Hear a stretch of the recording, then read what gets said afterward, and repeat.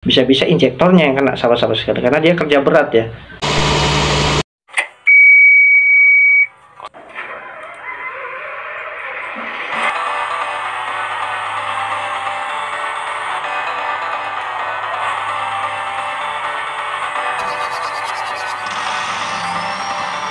Dari posisi 4 maka yang ditanggung adalah dari kabel kemudian posisi 2 dan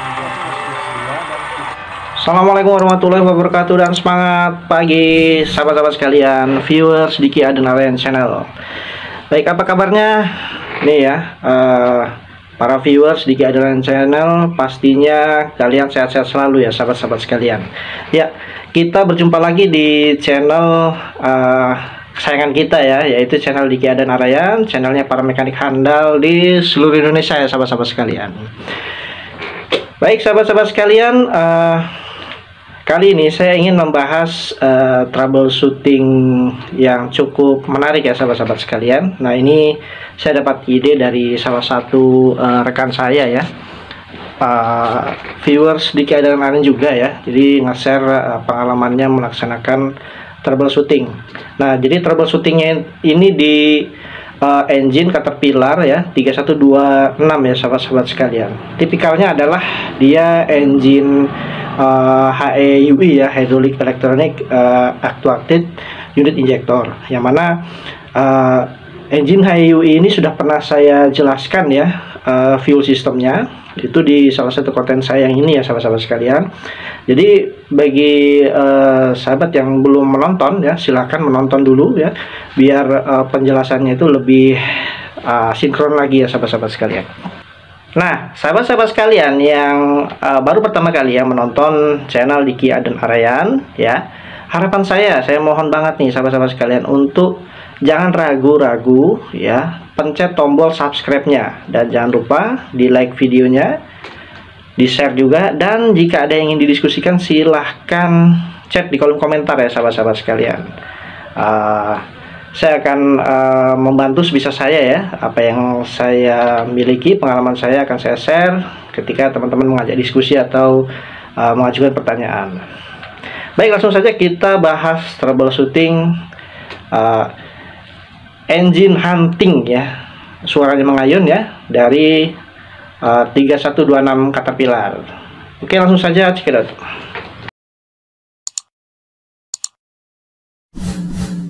Ya sahabat-sahabat sekalian, uh, jadi uh, ini adalah pengalaman dari salah seorang sahabat saya ya, viewers Diki dan Narayan juga. Uh, jadi uh, faktanya adalah yang terjadi di lapangan ya, engine 3126 ya, uh, industrial ya, HEUI itu uh, ketika sudah running uh, kisaran dia satu jam sampai dua jam gitu ya, itu langsung hunting sahabat-sahabat sekalian ya. Uh, hunting itu dia suaranya mengayun kayak sinjal gitu ya Iya. Iya.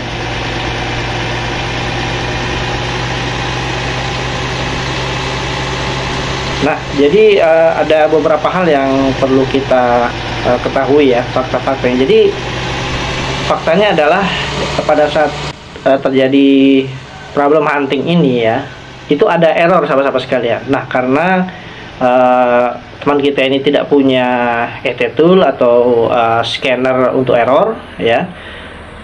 Tapi di sana ada uh, indikator indikator lamp ya yang uh, kode error yang menggunakan flash ya sahabat-sahabat sekalian. Nah jadi setelah kita melihat ya uh, flash pointnya atau uh, kode error uh, flashnya ya itu menunjukkan ya errornya adalah 64 sahabat-sahabat sekalian Nah, kalau 64 itu ya setelah kita konversi ya, itu coba kita carikan di googling di internet ya, 64 itu apa sih artinya kode errornya ya sahabat-sahabat sekalian. Nah, tapi sebelumnya jadi 64 itu adalah uh, satu kode ya uh, berupa dia kedipan lampu ya sahabat-sahabat sekalian. Itu macam-macam, ada yang lampunya warna merah, ada yang ada yang tiga warna ya, red, yellow, amber ya.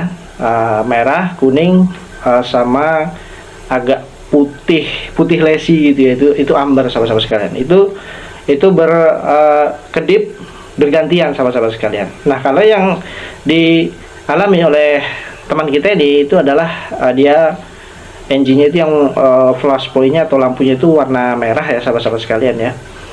Jadi dia berkedip enam kali dulu ya. Tep tep tep tep tep tep. Kemudian jeda sedikit terus lanjut lagi uh, kedip lagi tep tep tep tep. Nah. Jadi seperti itu ya. Jadi uh, kodenya adalah 64 ya sekarang 64 itu apa sih? Nah jadi ternyata 64 itu adalah setelah kita googling di internet ya itu uh, air intake temperatur ya sahabat-sahabat sekalian. Nah jadi uh, kemungkinan ya dia uh, bisa jadi sensornya bisa jadi wiringnya. Tapi uh, teman kita ini berinisiatif untuk mengganti uh, sensornya ya. Sensor intake temperatur. Nah setelah diganti sahabat-sahabat sekalian errornya hilang ya. Hanya saja memang masih ada error yang lain tapi itu adalah error yang uh, cenderung sama ya sahabat-sahabat sekalian. Nah setelah di ground test tidak ada perubahan ya sahabat-sahabat sekalian. Ya engine-nya masih tetap hunting ya belum ada uh, perubahan normal lagi itu belum ada sahabat-sahabat jadi uh, error itu kemungkinan sih dia error elektrikal ya. Error, error elektrikal yang mana tidak terlalu uh, signifikan pengaruhnya itu ke engine ya. Indikasinya di awal dia itu han, eh, dia itu dia, dia itu di rate ya uh, karena ada error tapi ternyata enggak. Tapi faktanya adalah ketika errornya hilang uh, dia tetap hunting ya nah kemudian kita menelusuri lagi uh, kemungkinan yang lainnya ya sahabat-sahabat sekalian.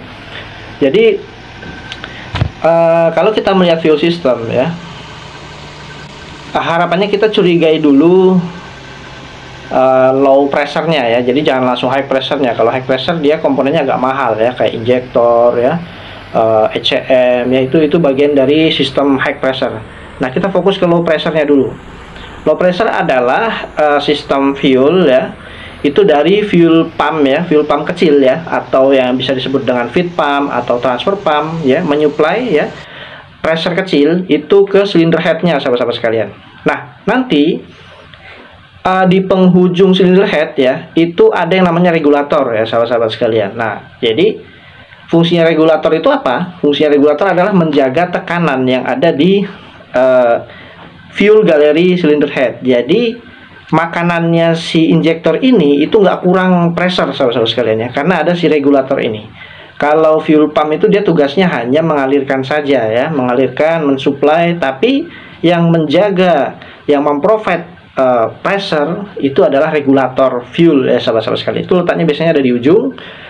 Dan setelah regulator itu ada fuel return line ya. Jadi saluran untuk kembali ke tangki ya sisa-sisa dari uh, fuel yang tidak terpakai di uh, cylinder head. Jadi yang nggak terinjek ke uh, ruang bakar itu kembali lagi ke tangki sahabat-sahabat sekalian. Ya. Nah, tapi ada juga sebagian itu yang kembali lagi ke fuel pump ya. Jadi sebagian ke fuel pump, sebagian ke tangki. Nah, kita fokusnya adalah ke uh, bagian low pressure-nya saja ya sahabat-sahabat sekalian. Jadi temuannya uh, teman kita ini ya dia coba waktu itu dilakukan priming ya priming di priming pumpnya di pompa pompa manual. Sambil uh, sebelumnya dia buka dulu return line-nya jadi hostnya itu dibuka ya. Jadi dari regulator tuh langsung tumpah aja dia ke tampungan gitu kan. Dipompa sama dia ya ternyata baru dipompa aja nih sama-sama sekalian. Itu udah ngejros ya sudah sudah uh, nyemprot fuelnya. Harusnya kan kayak gitu ya. Itu dipompa pompa pompa terus sampai dia tercapai uh, pressernya sekitar uh, 65 psi ya. Sampai maksimalnya itu 70 psi lah. Itu baru dia ngejros keluar ya. Kalau dia belum mencapai 65 ya itu uh, tidak akan keluar sahabat-sahabat sekalian. Kalau regulatornya normal. Tapi faktanya ini adalah uh, langsung ngejros ya. Walaupun hanya di priming saja ya. Priming itu kan ringan itu uh, pompanya. Mungkin kalau dia itu ingin mencapai 60 psi aja itu susah gitu kan. Kecuali fuel pump yang bekerja baru dia bisa mencapai 60 bahkan lebih. Nah sisanya itu akan dibuang ke tangki ya oleh si regulator itu sahabat-sahabat sekalian. Mekanismenya adalah dia menggunakan bola dan spring saja ya. Nah, jadi bola ini adalah fungsinya untuk menutup salurannya, pintunya ya ditutup.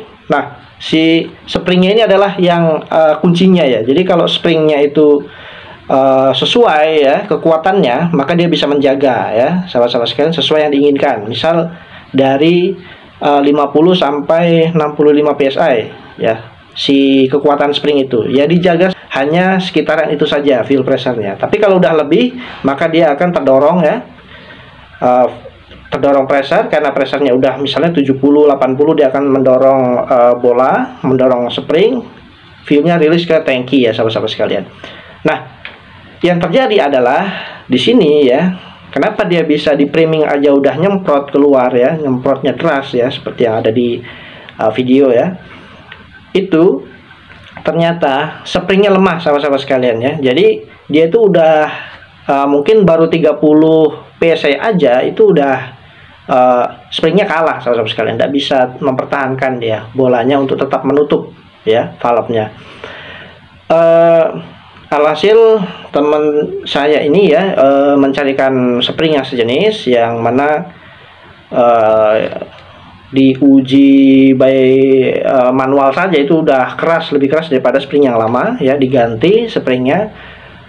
Setelah dipasang di ground test ya alhamdulillah uh, setelah di monitoring selama dua jam satu hari dua hari sampai seminggu alhamdulillah tidak terjadi hunting lagi ya.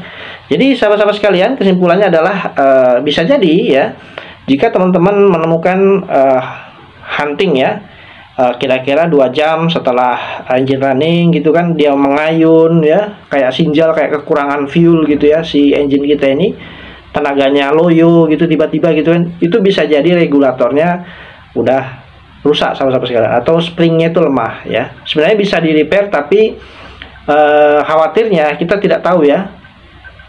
Kalau kita mengganti spring sembarangan takutnya springnya itu dia kekuatannya melebihi yang uh, di inginkan ya.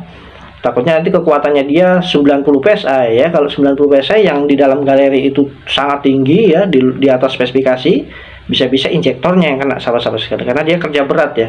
Uh, apa ada fuel yang selalu menekan gitu kan di plunger-nya itu dia kerja berat bisa jadi ya uh, efeknya nanti ke jangka panjang injektornya bisa cepat uh, uh, cepat rontok ya sahabat-sahabat sekalian nah jadi seperti itu ya sahabat-sahabat sekalian Baik sahabat-sahabat sekalian, demikianlah yang bisa saya sampaikan. Semoga bisa bermanfaat ya. Uh, terima kasih buat sahabat saya yang sudah mengirimkan ide uh, apa troubleshooting ini ya untuk bisa di share ke teman-teman.